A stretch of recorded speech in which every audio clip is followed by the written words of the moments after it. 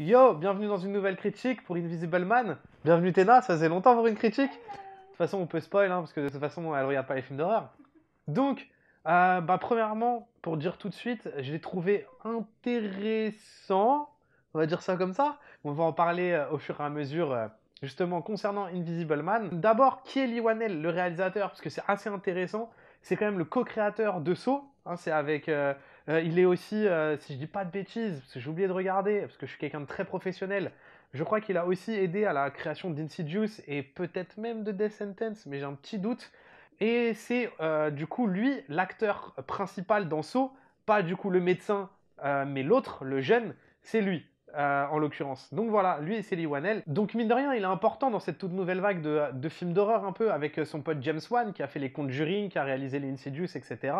Il fait partie un peu euh, de ces noms euh, qui ont un peu lancé euh, une nouvelle mode et puis ils font quand même des films assez cool tous les deux, euh, mine de rien. Donc forcément, Invisible Man, bah, je l'attendais sans l'attendre, pour être honnête. J'avais un peu peur que ce soit pas ouf, mais bon, quand j'ai vu que c'était quand même Lee Wanell qui le réalisait, j'étais quand même très intrigué parce que je crois encore en lui, comme je crois encore en James Wan, à faire des, euh, des films d'horreur qui soient un minimum quali en tout cas. Et ça va m'amener un peu au premier point de espèce de semi-discorde, bah, c'est que c'est pas vraiment un film d'horreur en fait, c'est bah, beaucoup plus un thriller. Et pourquoi je dis ça? Parce que c'est assez intéressant, parce que bah, déjà comment il va gérer l'horreur au fur et à mesure du film, et comment bah, il va gérer le, le thriller. Déjà avant la salle, parce qu'on est parti le voir en avant-première avec, euh, avec euh, Brice, et euh, quand on est parti le voir, donc euh, Brice Johan, euh, le poteau, et quand on est parti le voir, bah, du coup il y avait les invités, il y avait Lee Wanell, il y avait le producteur, il y avait Elisabeth Moss, et bah, quand ils présentaient le film, déjà d'une, ils ont présenté le film comme un huis clos, ce qui n'est pas du tout le cas, c'est absolument pas un huis clos, et en plus de ça, ils l'ont aussi présenté comme un film,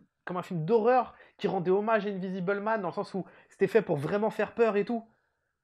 Bah ouais, mais bon, au final, c'est pas vraiment un film d'horreur. Il y a des scènes d'horreur, il y a des scènes qui font peur, mais bah, je trouve qu'il y a peut-être un peu mensonge sur la marchandise.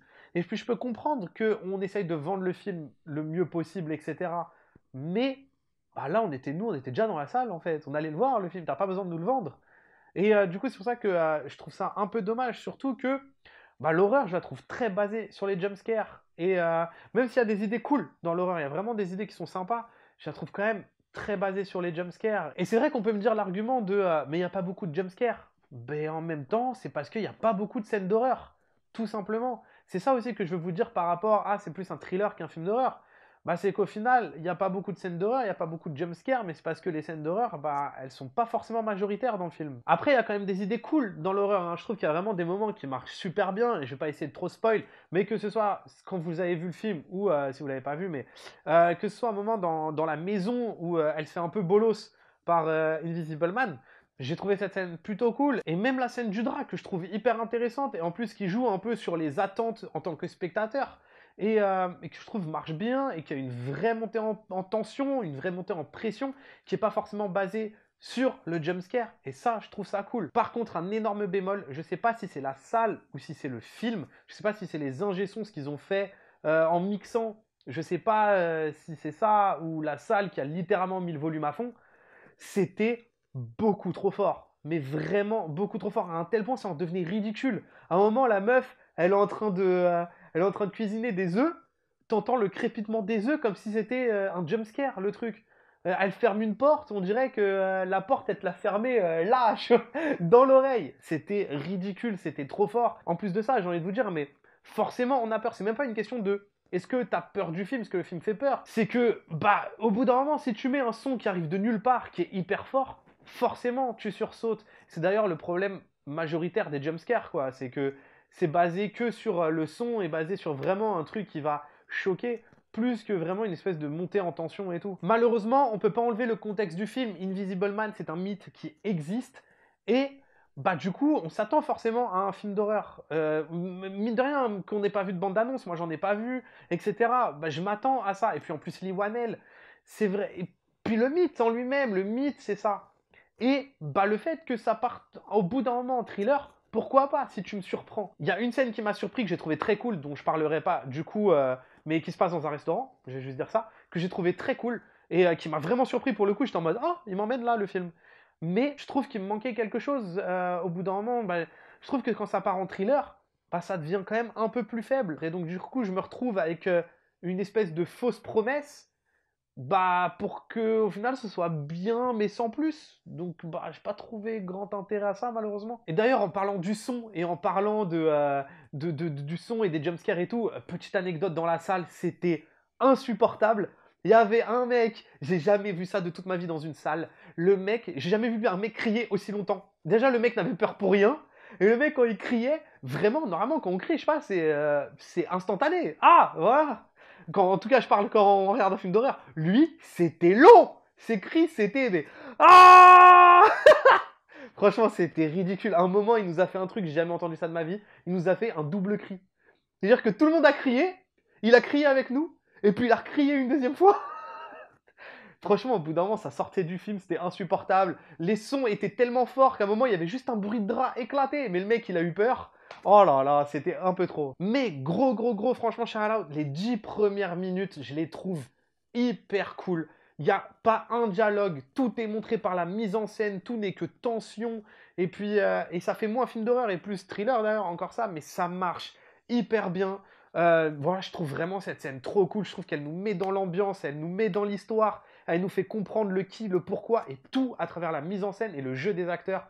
Et ça, je trouve ça très fort. D'ailleurs, en passant par le jeu des acteurs, quand même un petit bémol pour euh, Elisabeth Moss. Je suis désolé, mais moi je trouve que ce que j'appelle un peu le micro-jeu qui m'a grave dérangé, ces espèces de mimiques, de, de trucs, on dirait elle fait des mini AVC là. Ah, j'ai- J'aime pas du tout. Je trouvais que c'était parfois trop, c'était trop surjoué. Et euh, j'y croyais pas, ça m'emmenait pas dans l'histoire. Et je trouve que parfois on n'en avait pas besoin et que ça aurait été mieux une espèce de retenue dans le jeu plus que des espèces de mini AVC euh, toutes les deux secondes. Alors en termes de mise en scène, je vous avoue que je sais pas trop quoi en penser parce que j'ai l'impression qu'il y avait une idée, euh, qu'il y avait une idée dans le sens où bah, rendre le spectateur être Invisible Man et donc du coup au final c'est comme les dents de la mer en fait, bah qui tue les personnages ou qui les agresse eh ben c'est nous, le spectateur au final.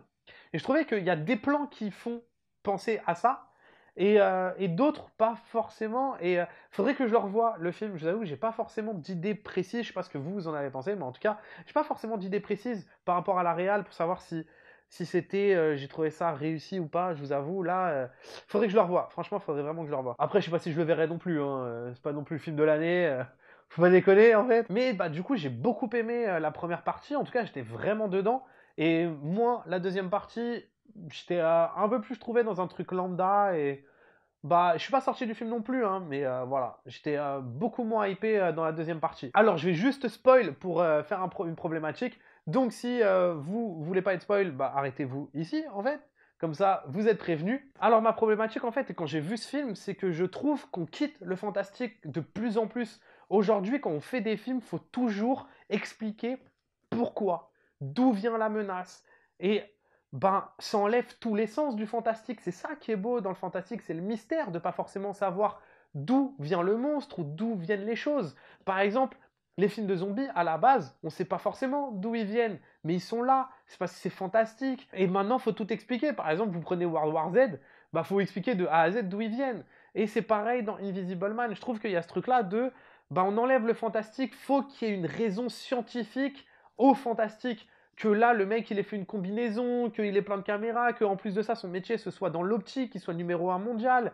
Et c'est pour ça, pourquoi est-ce que Invisible Man, ce serait pas juste un mec qui devient invisible comme ça? Il n'y a pas forcément de raison, juste il devient invisible. Ou le mec, peut-être qu'il a, y a un mec comme ça, il traîne et il est déjà invisible. Et peut-être qu'on ne sait pas d'où il vient, qu'on ne sait pas. Et c'est ça qui est beau, par exemple, avec Halloween. Parce que le mec, le monstre, c'est un croque-mitaine.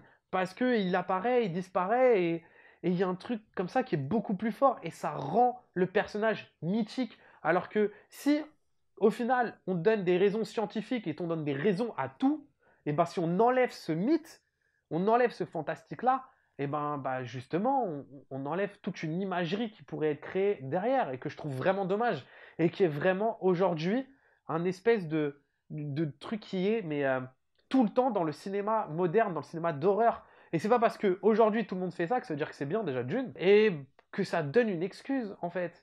Et euh, voilà, moi c'est un truc qui me chagrine un peu. Ça veut pas dire euh, que Invisible Man c'est un mauvais film.